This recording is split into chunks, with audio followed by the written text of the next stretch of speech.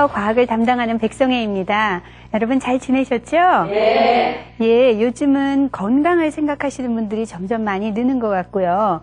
어, 웰빙이라 그래서 저희가 이제 먹고 사는 문제를 떠나서 조금 더 건강하게, 조금 더 잘 지내는 것에 대한 관심들이 많이 높아지신 것 같아요.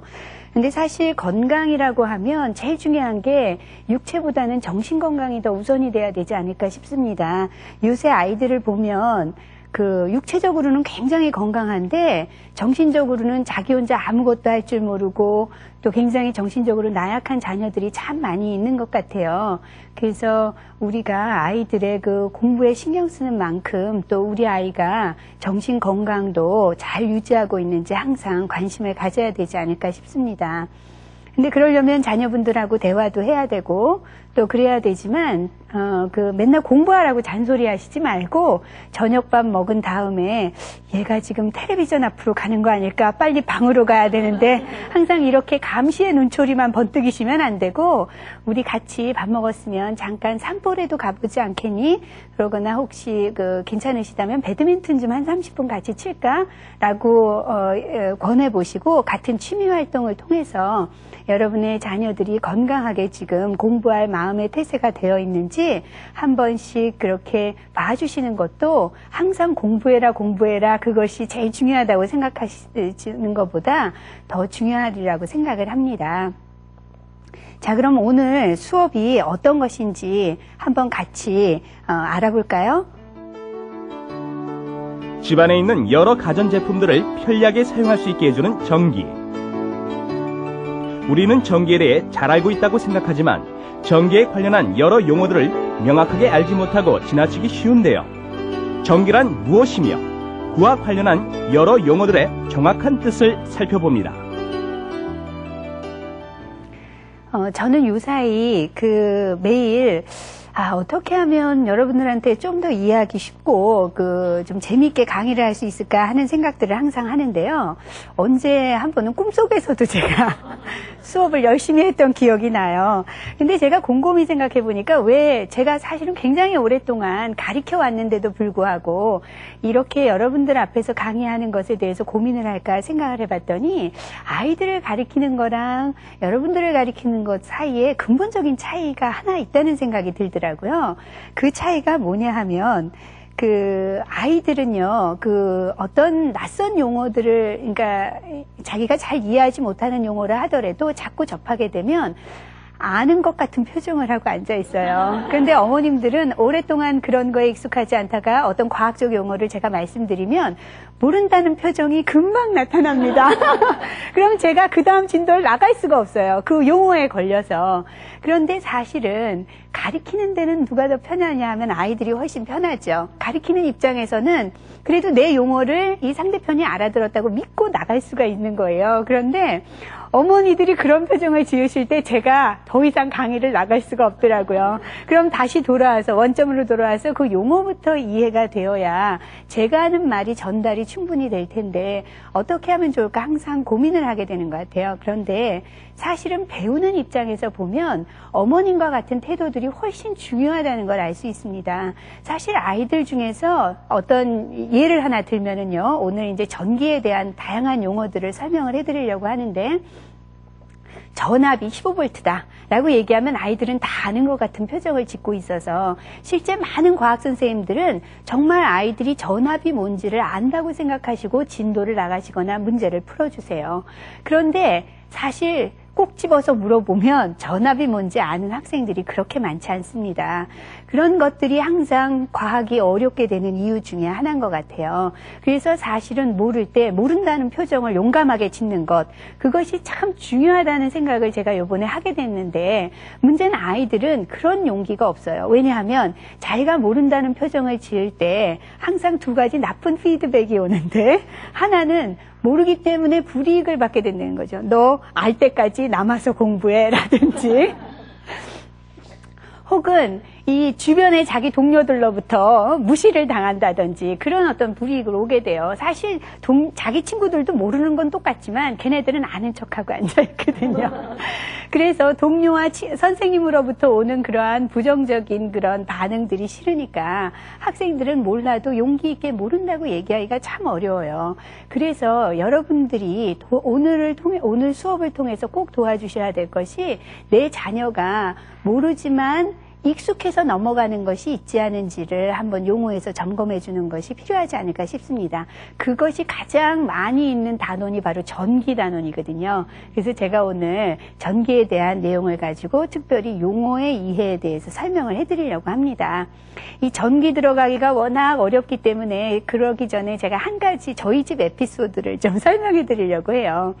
저랑 저희 저희 남편이 이제 그 같이 만나서 제가 이제 결혼을 했는데 처음에는 제 남편이 저에 대해서 가장 이해하지 못했던 게 뭐냐면 똑같은 상황이 발생했을 때 제가 기분이 굉장히 좋으면 넘어가요. 그런데 제가 기분이 나쁘면 잔소리가 시작되는 거예요. 그러니까 저희 남편은 왜 사람이 항상 일관성이 없는지에 대해서 이해를 못했어요. 그래서 그거를 굉장히 싫어했어요. 근데 요새는 거기에 대해서 싫어하지 않는 것 같아요. 그래서 제가 언제 한번 여보 이제 내 마음을 이해하게 됐나 보지? 라고 얘기하니까 우리 남편이 자기는 절대 이해할 수는 없지만 익숙해졌다 그거예요. 제 반응에 대해서. 그래서 더 이상 거기에 대해서 얘기하지 않는데요.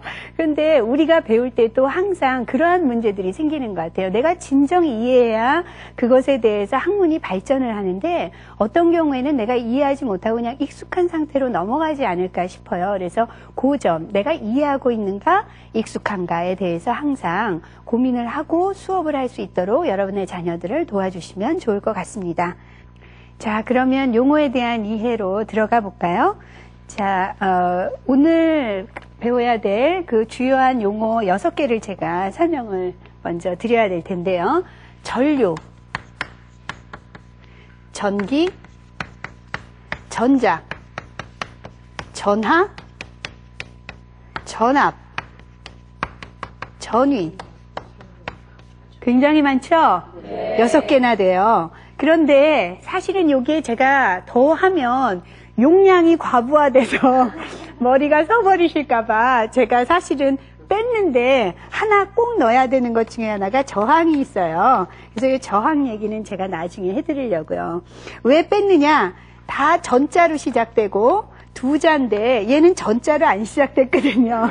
그래서 제가 오늘 요 용어 설명을 빼려고 합니다. 시간이 남으면 좀 설명을 해드리고요. 굉장히 비슷해 보이죠? 네. 우리가 어떤 때는 도선을 통해서 전류가 흐른다 이렇게 얘기하기도 해요. 도선을 통해서 전기가 흐른다 이런 얘기도 하고요. 도선을 통해서 전자가 움직인다고도 얘기를 해요. 도선을 통해서 전하가 이동한다고도 얘기하거든요. 그러니까 다 비슷비슷한 게 도선 속에서 움직이는 것이면 틀림이 없어요. 근데 이거와 이거와 이거와 이것이 무엇이 다른지 사실은 다른 이야기임에도 불구하고 구분하기가 참 어려워요. 자, 이것을 이해하려면 기본적으로 가장 중요한 하나의 개념으로부터 출발을 해야 됩니다. 그 중요한 개념이 제가 지난 시간에 설명을 해드렸는데요. 그, 원자가 무엇으로 구성되어 있었죠? 원자가? 기억나세요? 20세기에 그거 가지고 노벨상들을 줄줄이 탔어요. 원자는, 어, 그 원자 핵이라는 것과 바깥에 전자라는 것이 돌고 있어요. 전자.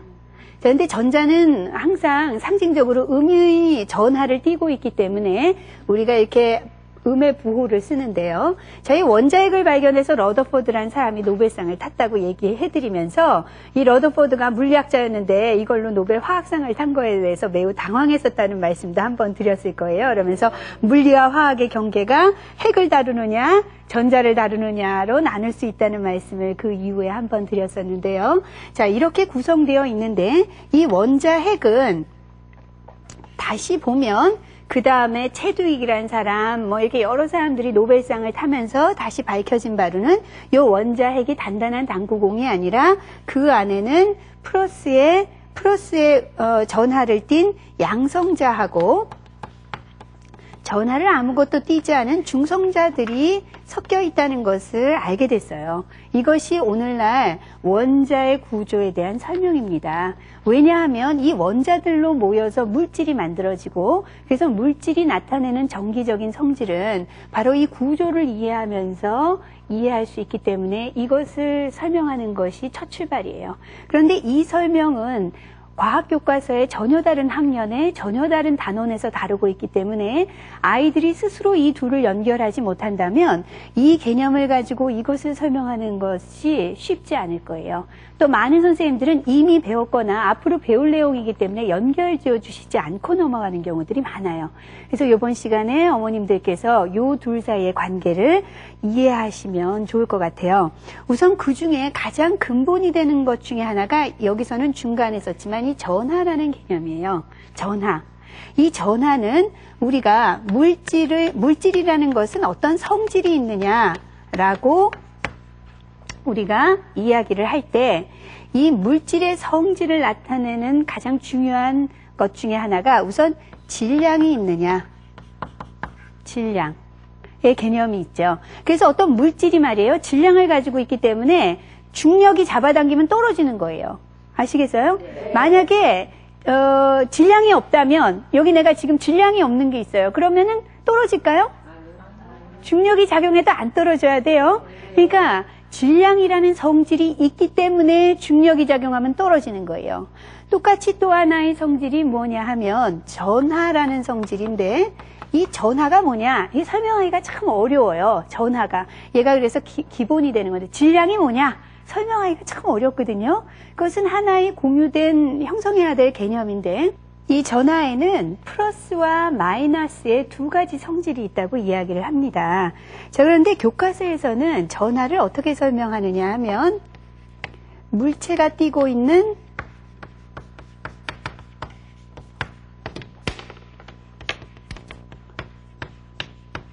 전기라고 설명을 하고 있어요. 그런데 그러면 전기는 뭐라고 설명하는지 알아야 전하를 알겠죠? 네. 그런데 전기에 대한 설명이 아무 교과서를 제가 다 뒤져봐도 없어요. 그런데 당연히 알고 있다고 생각을 하는 거예요. 그런데 이 전기라는 것은 사실은 전하가 띈 물체가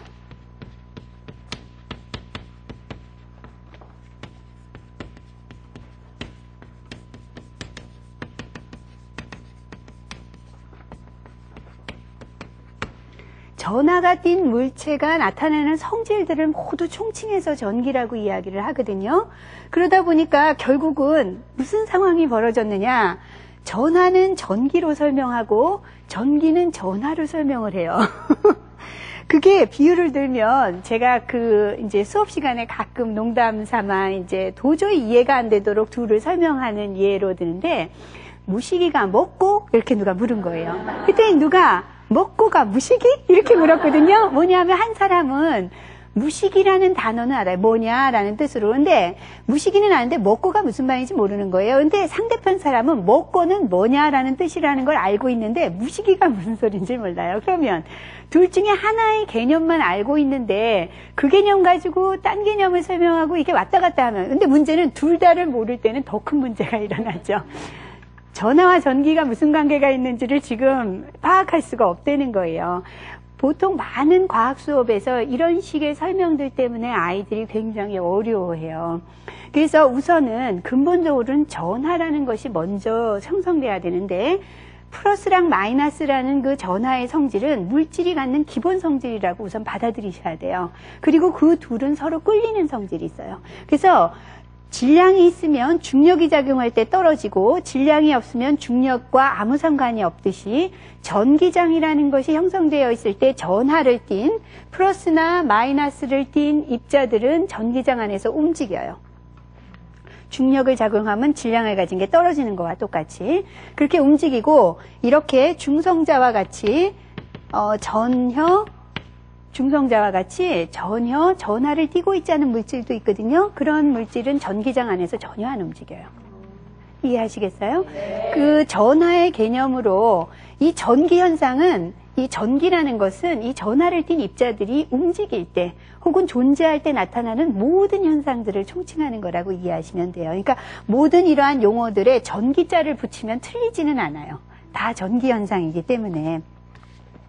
자, 그런데 이제 이 원자핵은 그러니까 최종적으로는 어, 양의 그 전하를 띠겠죠.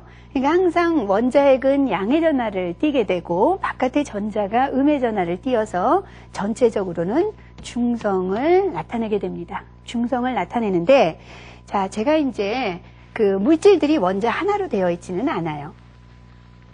그래서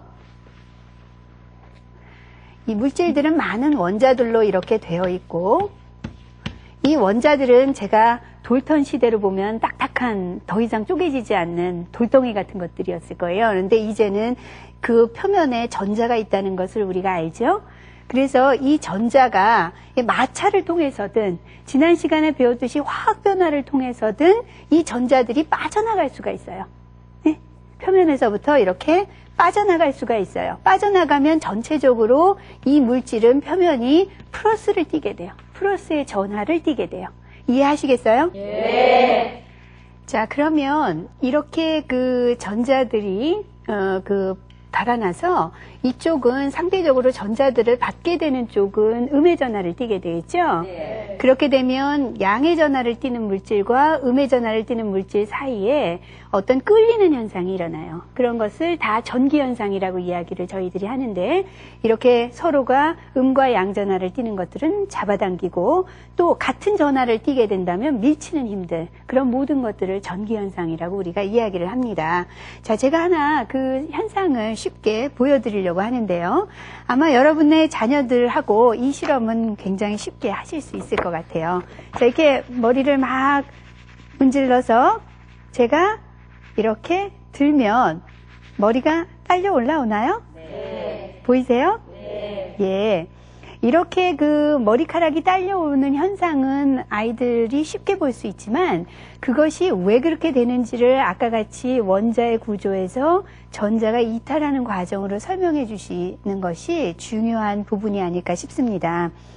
자, 이렇게 해서 그 금속 이제 그 어떤 물질들, 물질들이 왜 전기 현상을 띠게 되는지를 간단히 설명을 해드렸는데요. 여러분 전류가 흐를 때 도선이 뭐로 만들어져 있는지 아세요? 구리요. 예, 구리나 철사 같은 금속들이 모두 전류를 흐르게 하는 도선의 물질로 쓰입니다.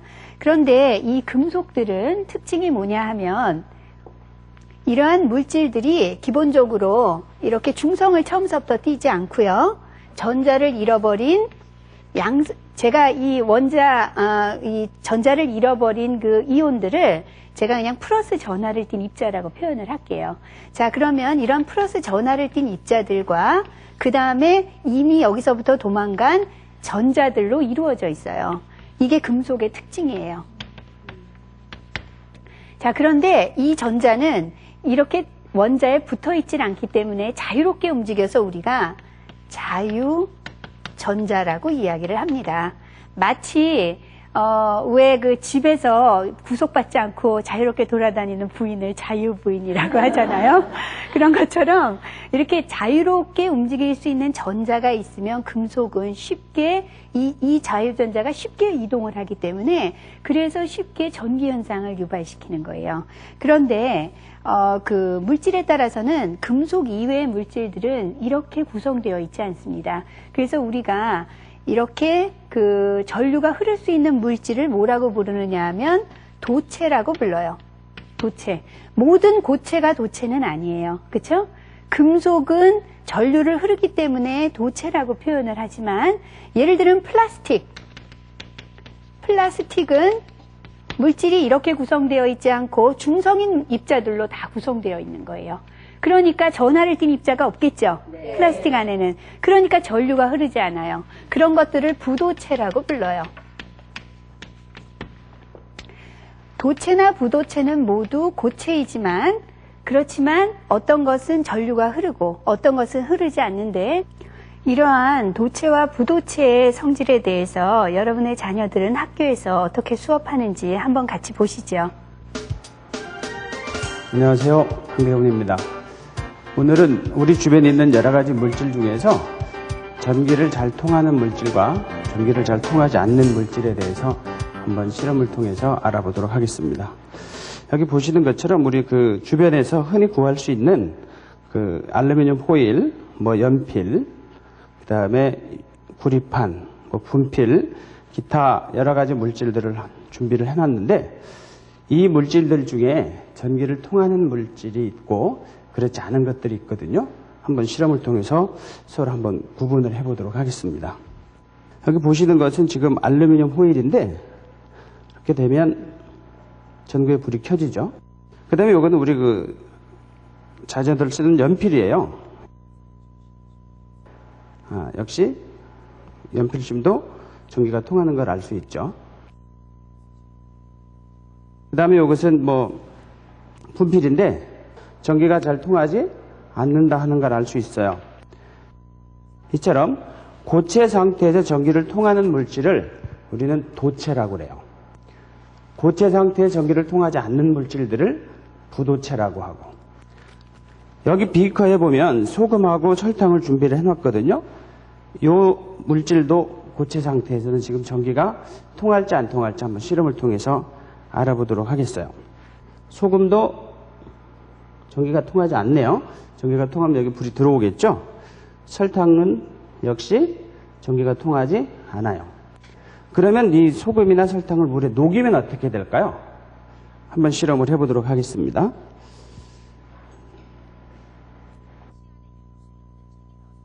소금을 먼저 녹이고 그다음에 설탕도 적당량을 한번 녹여보도록 하겠어요. 전극을 연결을 해서